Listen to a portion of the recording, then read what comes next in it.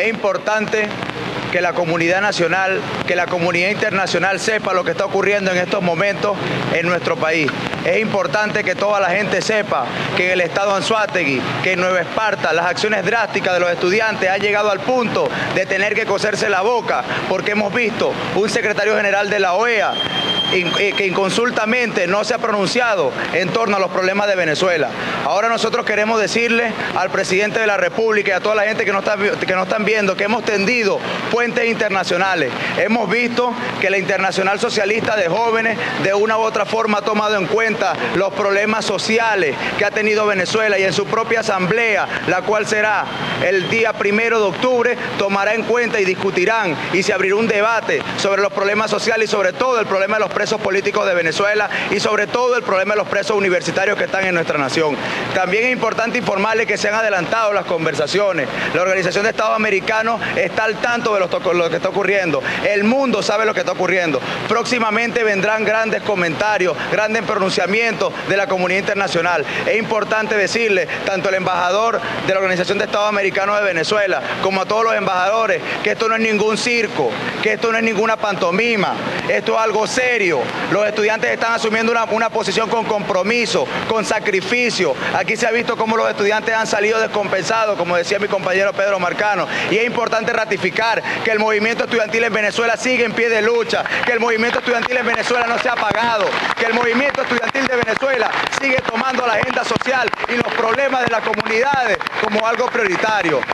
Vamos a informar que en el estado Carabobo hay en este momento 22 compañeros en huelga de hambre, que en el estado Anzuategui, en lo que respecta a la ciudad de Barcelona, hay 12 y en la ciudad de Anaco hay 5 más compañeros que se han unido a la huelga de hambre. En Barquisimeto hay 5 estudiantes, en Maracaibo hay 10 estudiantes, en Aragua hay 18, en Mérida 6, en el estado de Nueva Esparta 2, en San Cristóbal 8. Es importante también nombrar que en portugués hay 5 y que aquí en Caracas hay alrededor de 70 estudiantes, señores. Son 70 familias que están sufriendo porque sus muchachos, los hijos del futuro, están aquí en estos momentos pasando hambre para que haya una respuesta internacional sobre el problema de los derechos humanos. Queremos una salida humanitaria, queremos que la Corte Interamericana de los Derechos Humanos se pronuncie. ¿Hasta cuándo tanta impunidad con los presos políticos, con la familia, con Richard Blanco, con los trabajadores de la alcaldía metropolitana, con toda esa gente que está presa?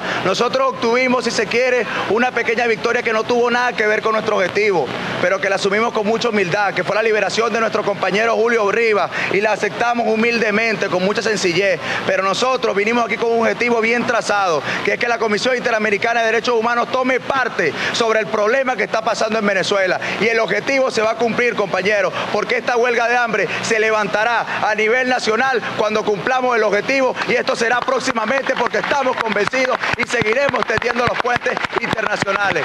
Hacemos un llamado a todos los medios de comunicación social, a toda la prensa escrita, audiovisual y radial, tanto de Venezuela como de todo el mundo, que esté atento a los siguientes pronunciamientos, que esté atento a lo que ocurrirá en el mundo, porque sabemos que los estudiantes de todos los países, tanto de nuestro continente como los demás continentes, están pendientes de lo que está ocurriendo. Esas lágrimas de esas madres, esas lágrimas de esos padres que ven a sus muchachos en esas camillas sentados, porque tienen bien trazado en su mente un compromiso de país, no se en vano. Esas lágrimas serán recompensadas con un nuevo país, con una nueva Venezuela. Y desde aquí llamamos que el movimiento estudiantil venezolano continúe en pie de lucha más que nunca y claramente comprometido con nuestro objetivo.